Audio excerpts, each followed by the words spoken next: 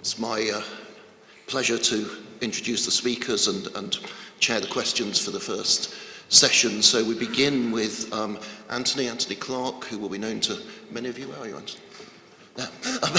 will be known to many of you, uh, senior tutor at Regent's Park, of course, and paper entitled Questioning Our Commitments, Exploring Hermeneutical Practice in Discussions of Human Sexuality. Anthony.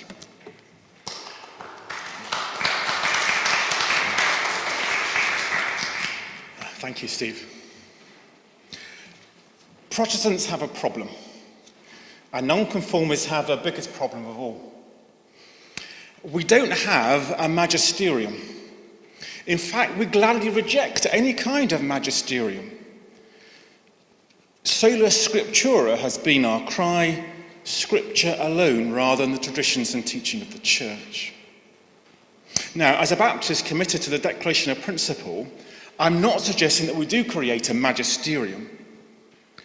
But we need to face the problem of how Scripture should be interpreted without any central authority. This gives rise to significant tension. We've wanted the Bible to be clear. We've invested in its significant authority. But historical study on virtually any issue shows huge diversity of interpretation and sometimes little consensus. It seems clear that the most significant contemporary church issue in biblical interpretation for us is human sexuality. Having read quite widely, engaged in numerous conversations, uh, what strikes me is that the underlying challenge is not that we disagree on what the Bible teaches, which we obviously do, but that we are instinctively reading the Bible in different ways. We disagree because the whole way of reading the Bible is different. We practice different hermeneutics. And further still, uh, these hermeneutical commitments that we have, while sometimes are explicitly owned, more often are left implicit and unexpressed. This means it's difficult even to have a good conversation because my presuppositions about the Bible may be different to yours, and our conversations simply miss each other. This, of course, is not just true of human sexuality. But the, the, the, pressing nature of that issue for us as Baptists means that must force us to think more carefully about our own hermeneutics. My desire today is not to offer one more perspective on what the Bible teaches, but to explore how we read the Bible together. What I offer then in this paper is a discussion of how three or four authors, depending on time, have written on sexuality. While I've ensured there is some diversity of views, I tackle these four because of the way they raise hermeneutical questions for us. I'll briefly consider each one and then conclude with some questions we need to ask, I think, about our own hermeneutical position. So I begin, thank you, Simon, first next, with Wesley Hill. In his contribution to the book Two Views on Homosexuality, the Bible and the Church, he suggests that since the early patristic period, he quotes Irenaeus, there has been a shared understanding that the Bible has a centre. And this should be understood Christologically. For Hill, there seem to be two fundamental components to his hermeneutical approach. First, that the Bible has an essential unity. And Hill will look to play down diverse voices within Scripture in order to concentrate on a unity. And second, that this unity is found through Christ. So Hill writes, the properly Christian way to read the Bible is as a two testament canon whose various parts are not to be played off against each other, but read synthetically with Jesus Christ as their orientating centre. What's particularly helpful about Hill's account is his explicit desire to ground his contribution in a clear hermeneutical principle, a Christological centre that shapes the reading of the whole. What's less clear is what he actually means. Let me suggest two reasons why. First, there seems to be another, a second, more implicit hermeneutical principle at play at the same time, which stands in some tension with his Christological centre. Hill refers a number of times to something like a canonical shape of Scripture and is using what we might call canonical criticism as one of his approaches. So for him, the Genesis narratives retain pride of place because of their canonical placement, as well as their use in the Gospels. The canonical primacy of the Genesis account means that Leviticus 18 and 20, read in this light, prescribe same sex relationships because they do not have a place in male and female marriage. And for Hill, Augustine's theological vision of marriage is formed from the New Testament's final canonical shape. But what's missing, it seems to me, from Hill's account of canonical primacy is for any discussion of the way that Genesis and Leviticus may relate together, with the possibility that Genesis may have been written much later than Leviticus. Now, such historical critical considerations may not be definitive, after all, they're a commitment themselves. And, and there are some reasoned arguments for canonical approaches. But it's a committed position for Hill that is assumed and not argued for. What's also missing from Hill's account is any sense of how the canonical primacy of Genesis relates to the Christological centre of Scripture. And so, how a, read, a reading of Scripture with this centre might relate to this canonical approach. Might there be a tension between affirming the primacy of Genesis and looking for a Christological centre? Uh, for Hill, with his stress on unity rather than diversity in Scripture, there will be a tendency to play down any such tension. Others might find a Christological centre which more radically reshapes other parts of Scripture. Uh, this leads me to a second point. While drawing on Augustine as a positive source, Hill then engages with the work of Robert Song as a critical dialogue partner. Hill is very respectful of Song's work and the dense, rich, and coherent exegesis he offers. But ultimately, Hill profoundly disagrees with him. What's interesting for our purpose today is a Song seems to me to offer a reading of Scripture that also has a deep Christological centre, perhaps more so than Hill himself. And this leads Song to significantly relativize marriage in the light of the resurrection of Christ.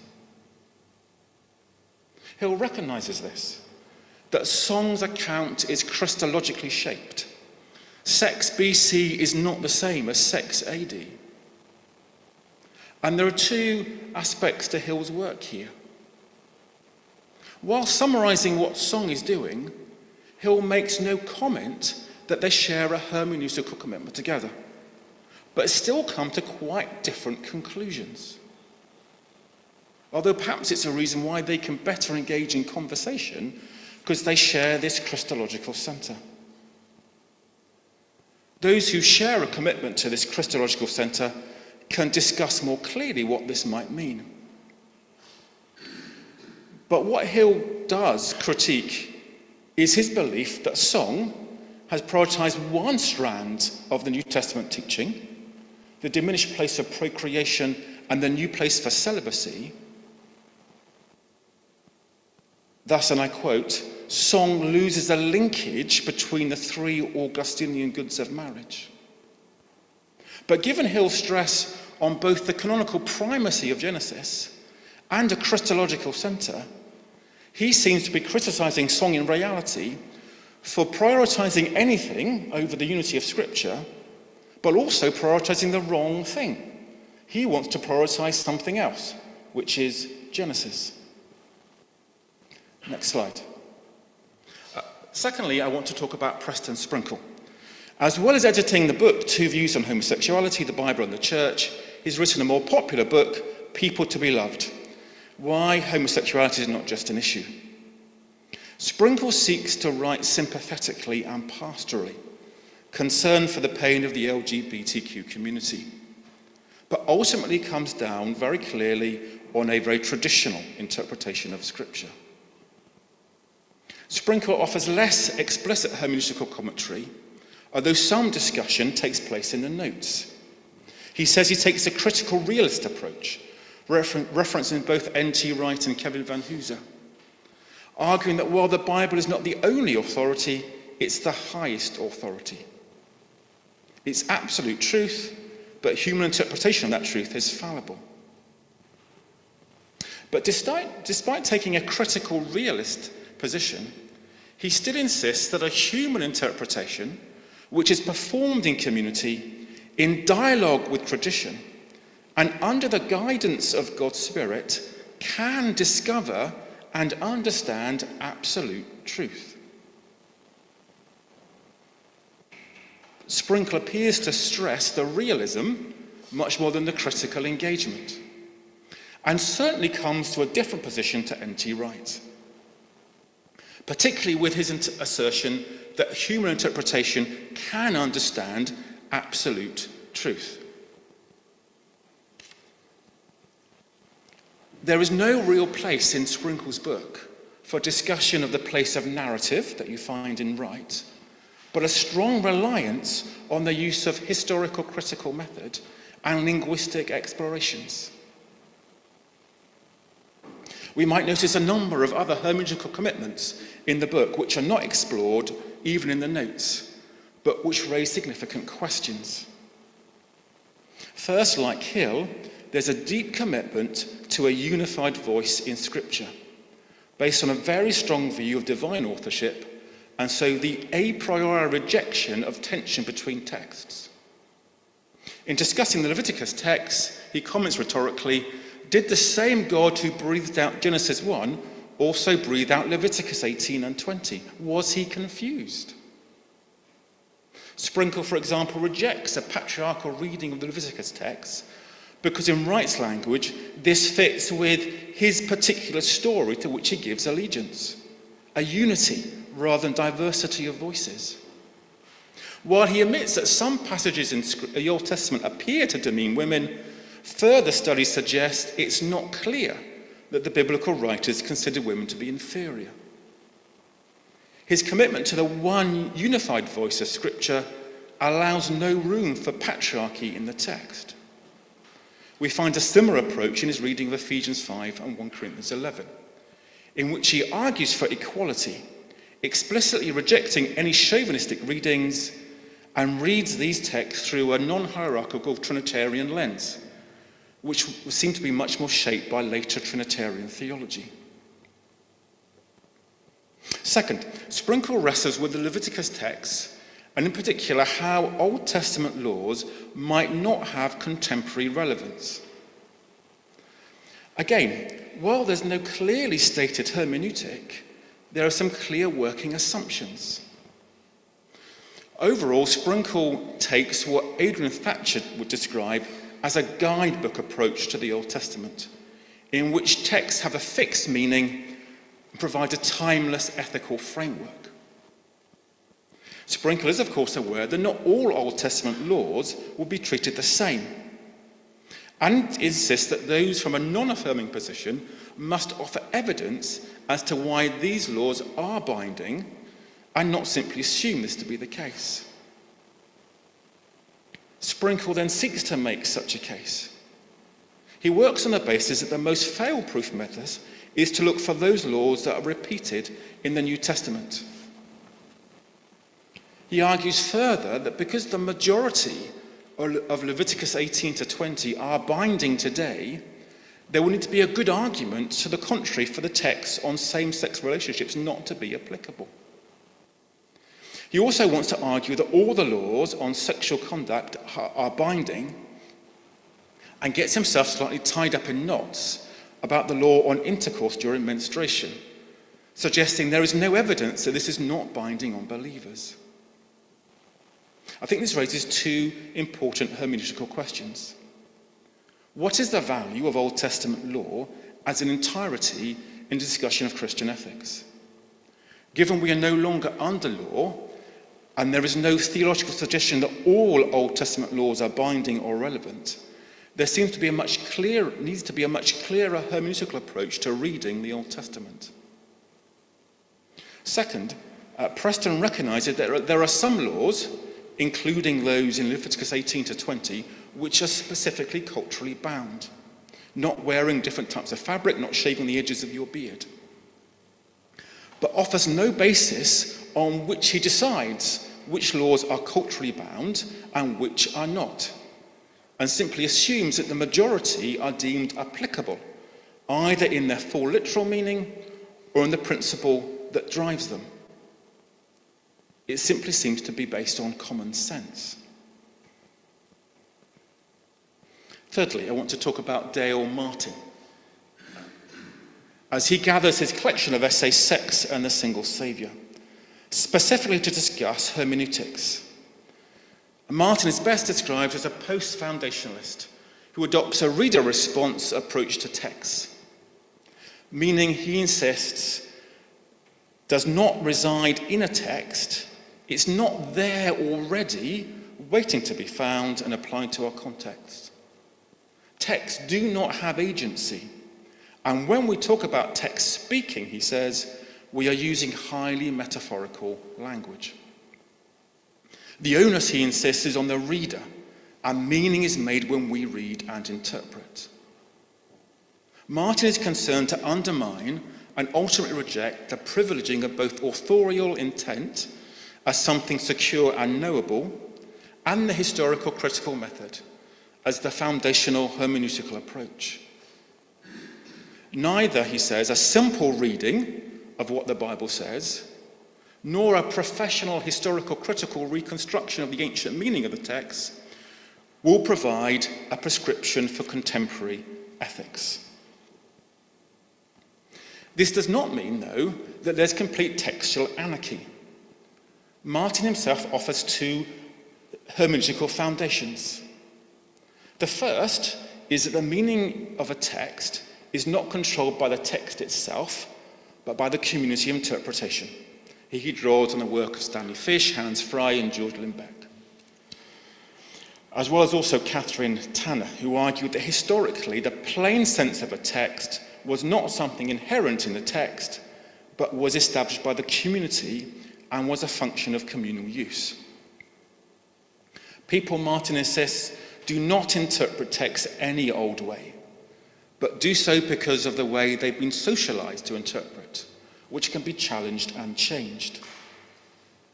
What's needed is not, he says, more careful attention to the text through historical critical study, but a more careful discussion of the interpretive community about the way we have been socialized to read texts. To draw on N.T. Wright again, we need to think about the story that we tell that shapes the way we read the text in the first place. The second foundation is that Martin, like some others, actually does in fact offer a biblical interpretive centre. In a chapter that discusses the meaning of particular Greek words, he adopts a very strongly historical critical style and proposes that the double love command of Jesus is at the centre. He says, Whoever therefore thinks that he understands the divine scriptures or any part of them, so that it does not build the double love of God and of our neighbour, does not understand it at all.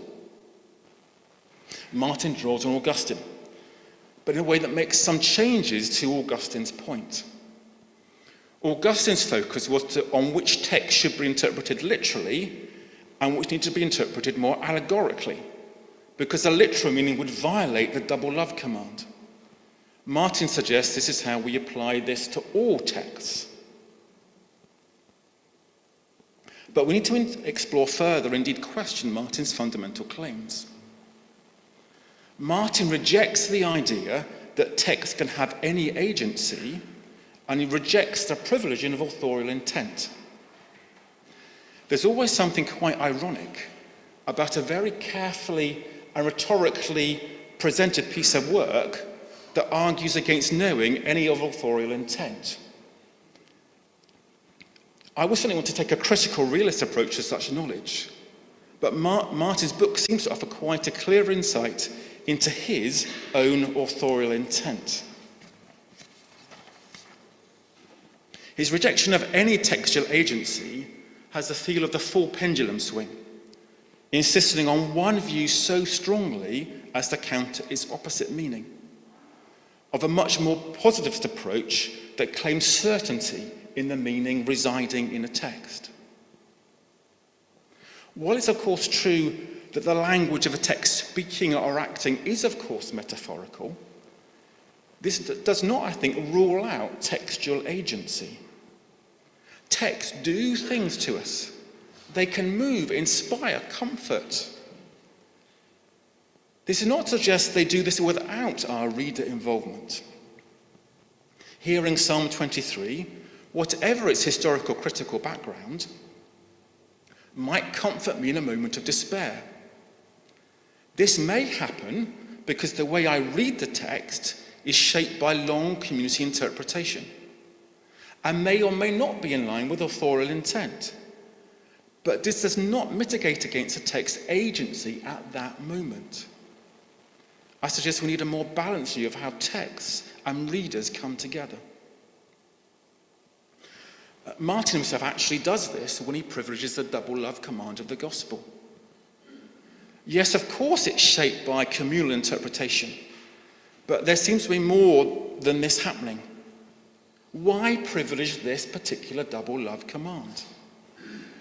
Part of the reason is that this is, a, this is Jesus' summary of what is most necessary, and therefore again a clear Christological centre to Martin's hermeneutical strategy, which is rooted more firmly in the text than simply in the interpretive community.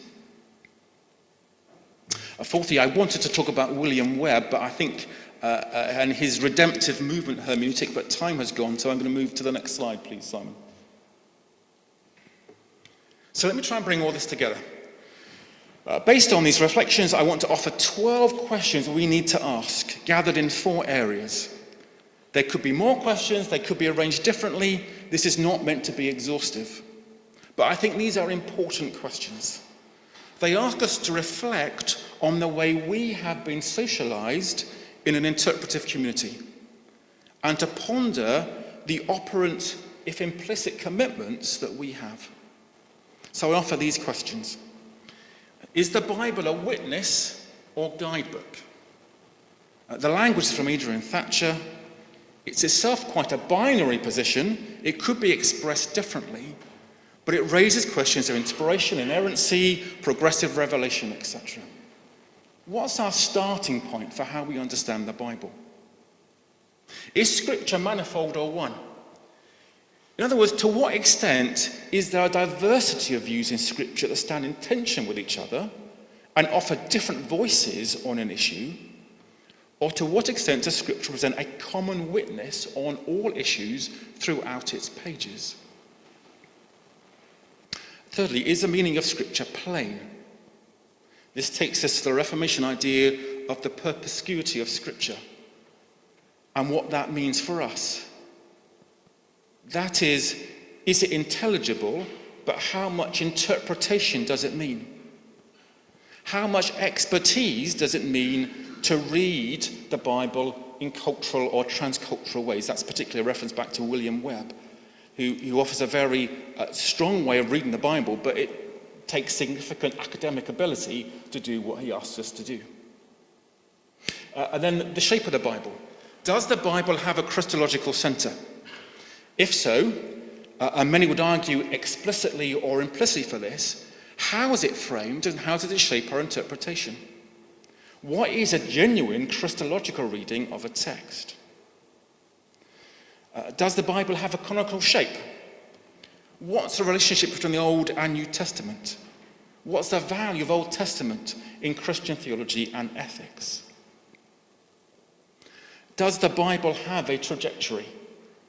Is the Bible the final word on everything, for example, slavery or Trinity, or is there something more to be said that builds on the biblical material?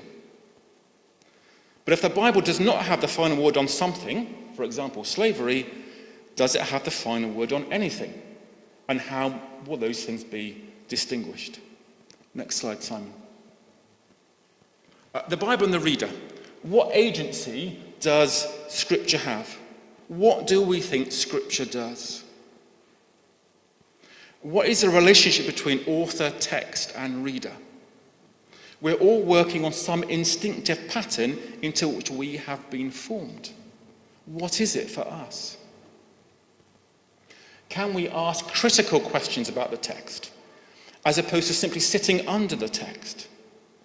For example, feminist hermeneutics might rightly ask questions about patriarchal assumptions behind some of the texts. Yet not all, all agree that those questions are valid ones. And then what's the relationship between the Bible and the church? The church shaped the Bible, but now the church reads the Bible. How does the Bible critique the church and tradition if the church interprets the Bible? How does the church act as a community of interpretation or communities of interpretation? Whose voice is given priority in reading Scripture? This is a challenge, for example, of liberation theology, which asks us to think about the privileged group who have controlled the interpretation for the community and therefore set the story into which we have been socialized. Let me find one final point in conclusion. It will be very easy, having reflected on these questions, can conclude that those who answer them differently to me and so would own different understanding commitments are not taking the Bible seriously, where obviously I am. In other words, this exercise is no panacea that simply makes more explicit the differences that are already there. What I'm convinced about is that generally our answers to these questions are commitments and pre understanding that we bring to the biblical text rather than that we derive from the biblical text. They derive from the way that we have been socialized and formed in our various communities. It seems to me that if we are going to have good conversations about difficult issues, we need to own our hermeneutical commitments and be willing to talk about those first, because the difference might be the fundamental problem is we read the Bible differently from the very beginning. Thank you.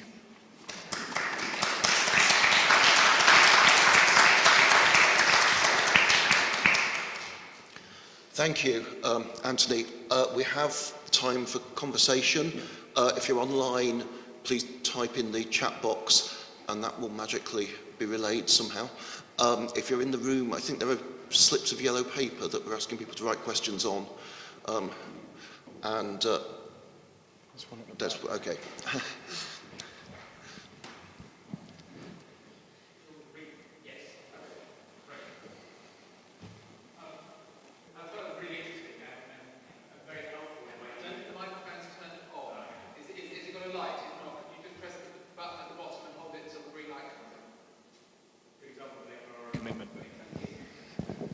Um, thanks. Oh, gosh, no, that's definitely on. Um, I thought it was really helpful, and I think crystallises a lot of the issues why sometimes it can feel like these discussions don't go anywhere because you're starting from different places.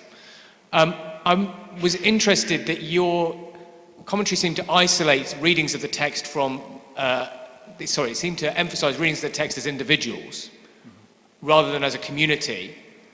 Whereas obviously as Baptists, we're committed to reading the Bible in community, both within the room, but also the church militant, uh, so church militant, but also the church exultant, triumphant over time, so as part of the history of tradition, and as part of the global church.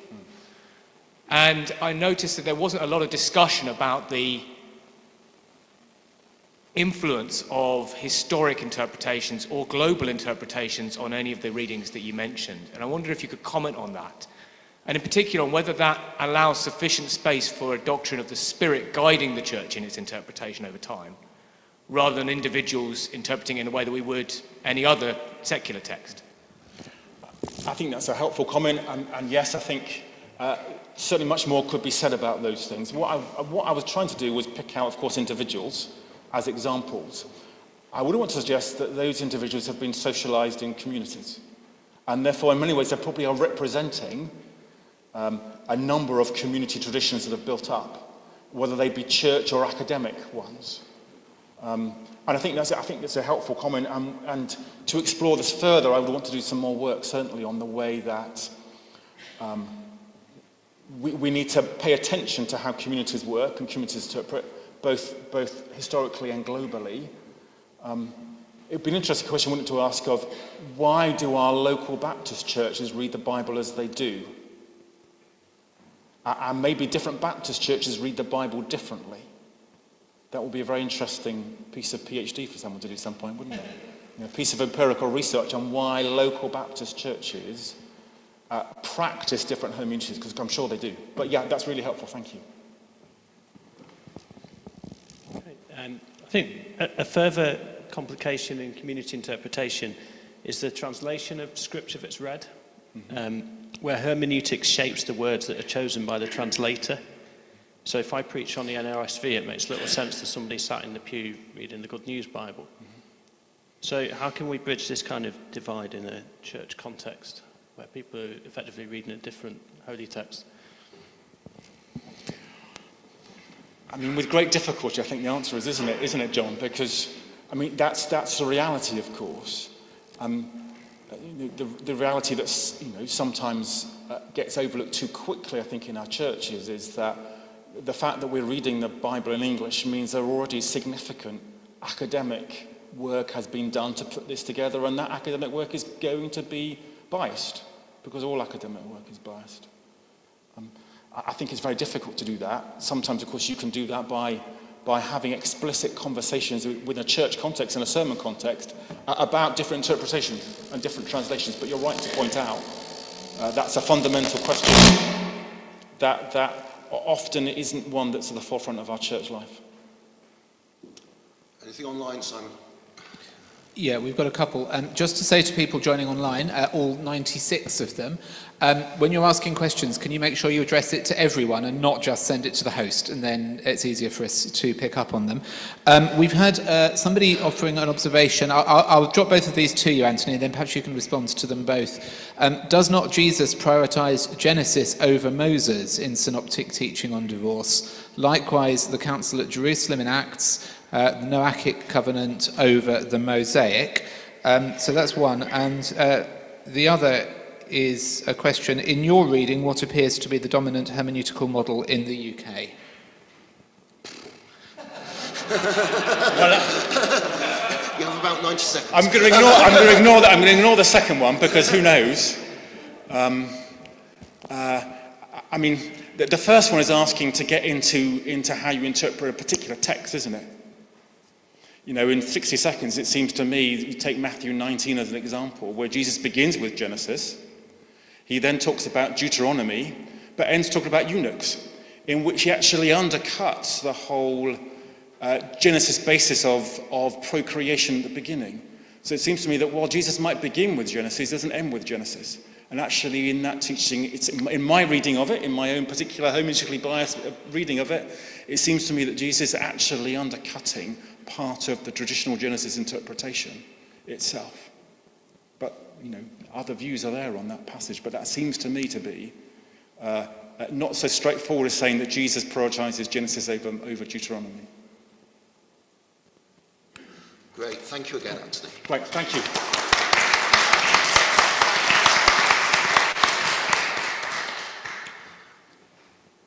Our second speaker is Ali Bolton. Um, Ali has spent the last 13 years doing pioneer